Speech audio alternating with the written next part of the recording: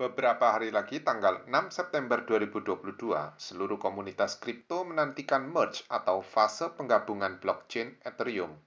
Tahapan ini adalah tahapan terpenting di antara sekian banyak tahapan yang telah dilalui sejak 2020 dan yang masih akan dijalani hingga 2023. Apa yang berubah setelah merge atau yang juga disebut fase beacon chain ini? Dan apa sih tujuan akhir dari keseluruhan proses ini nantinya? Fase merge ini adalah satu dari sekian banyak tahapan yang telah dilewati menuju Ethereum baru nanti, yang selesainya diperkirakan di 2023. Sejak 2020 ketika mulai digagas, Ethereum blockchain telah dibuatkan blockchain kembarannya yang tidak diaktifkan, tapi berjalan paralel bersama blockchain saat ini. Ini ibaratnya dua jalan raya kembar, tapi satu jalur belum dipakai. Nantinya setelah fase merge ini, blockchain yang sekarang akan dibelokkan ke blockchain yang belum dipakai itu. Ini disebut penggabungan. Dan untuk selanjutnya, jalur yang lama tidak akan dipakai lagi. Blockchain yang baru ini meneruskan perjalanan dari blockchain lama sehingga blockchain baru tidak bisa disebut sebagai Ethereum 2. Istilah Ethereum 2 yang sekarang sejak 2020 disebut oleh publik direvisi oleh developernya menjadi ya tetap Ethereum, tetapi Ethereum Proof of Stake atau disebut Serenity.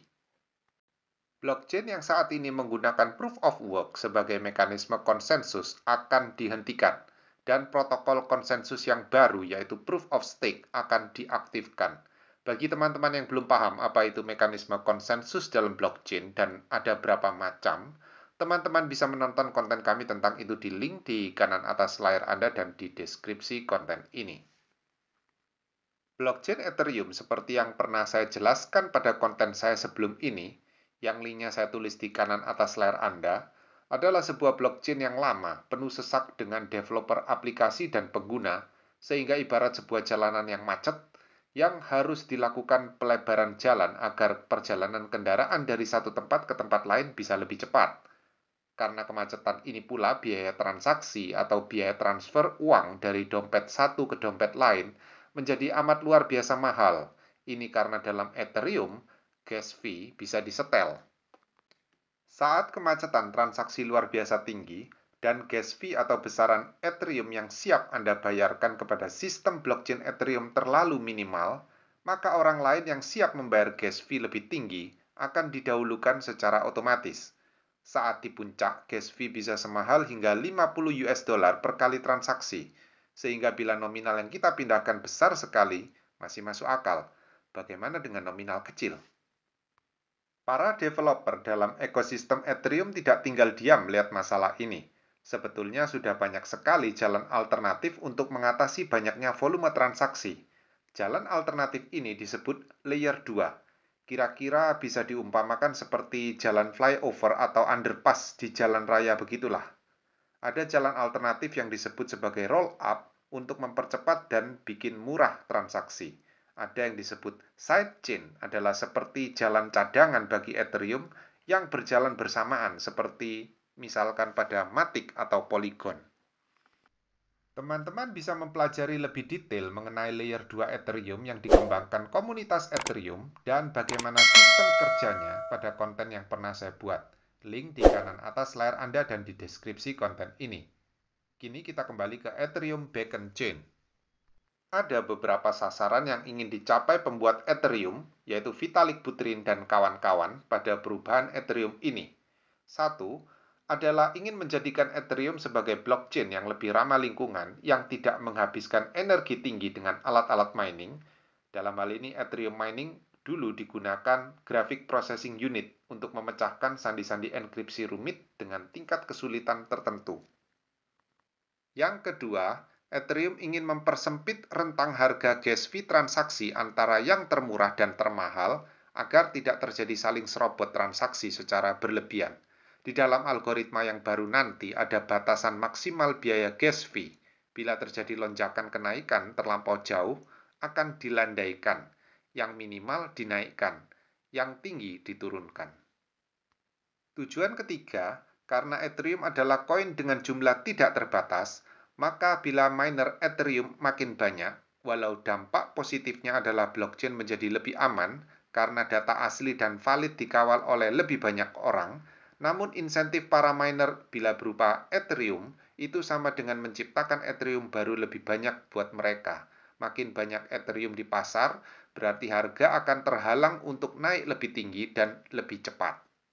Ethereum nantinya hampir tidak menambahkan jumlah koin baru. Tujuan keempat memberikan efek deflasi atau mengurangi jumlah koin. Sejak awal 2022, mekanisme membakar Ethereum dari sebagian gas fee transaksi yang dibayarkan pengguna telah dijalankan. Setiap hari, ratusan ribu dolar dalam Ethereum dibakar atau dimusnahkan. Jumlah Ethereum diharapkan makin lama makin sedikit bila lebih banyak yang ditransaksikan, sehingga cepat menaikkan harga. Hingga saat konten ini dibuat 31 Agustus 2022, total Ethereum yang telah dilenyapkan sebanyak 2.603.985 Ethereum. Ini dalam rentang waktu sekitar 9 bulan. Sebagian besar gas fee, sekitar 67%, tetap akan menjadi insentif bagi para validator. Validator ini adalah orang-orang yang dalam hal ini disebut node, yaitu Graphic Processing Unit, yang terhubung ke dalam blockchain yang perannya membantu mencocokkan, menyetujui, dan mengesahkan transaksi. Dalam sistem lama, validator diupah dari gas fee. Miner diupah berupa Ethereum dari tiap blok baru yang disambung ke dalam blockchain.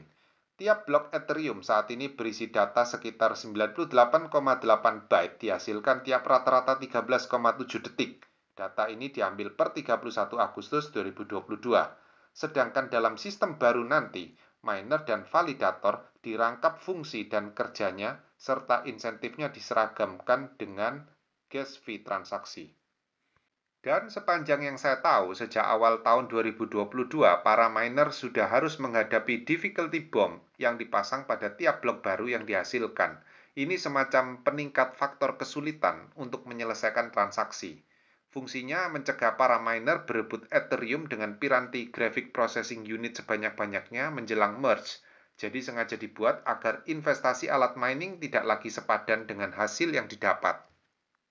Lalu bagaimana nantinya investasi para miner berupa graphic processing unit yang barangkali belum balik modal? Para miner bisa memilih pindah mengerjakan validasi blockchain yang lain yang masih menggunakan proof of work yang memerlukan memori, misalnya Ethereum Classic. Ethereum Classic ini sebetulnya sama persis dalam hal mining dengan Ethereum yang lama, karena Ethereum Classic adalah fork Ethereum setelah kejadian pertasan DAO pada Ethereum di tahun 2016. Apa itu Decentralized Autonomous Organization? Teman-teman bisa menonton penjelasannya pada konten kami tentang itu. Link di kanan atas layar Anda dan di deskripsi konten ini. Alternatif tambahannya, selain mining Ethereum Classic, juga bisa sekalian mining Zilliqa di saat bersamaan. Saya juga pernah membuat konten tentang Zilliqa ini. Sedikit cerita sampingan dari saya soal DAO hack Ethereum di tahun 2016 itu, Berikut kronologisnya. Tanggal 30 April 2016, Ethereum sebenarnya pernah mengalami peretasan pada token DAO yang saat itu baru berumur 3 bulan. Ethereum DAO ini semacam crowdfunding yang berhasil mengumpulkan dana 150 miliar US dollar. Tujuannya adalah untuk dana pengembangan blockchain Ethereum, untuk insentif para developer, hibah-hibah untuk project, riset, dan lain-lain yang penggunaannya harus disetujui lewat voting di antara pemegang token DAO Ethereum. Ternyata, ada celah dalam wallet Ethereum saat itu sehingga ada peretas dapat melancarkan serangan 51%. Dan dia mengambil 60 juta US dollar dari wallet bersama itu.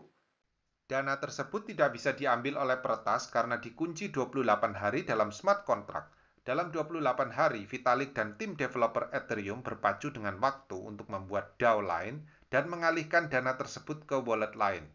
Peretas tidak tinggal diam dan berusaha membujuk sebagian miner untuk menentang otoritarian semacam itu yang tidak sesuai asas desentral.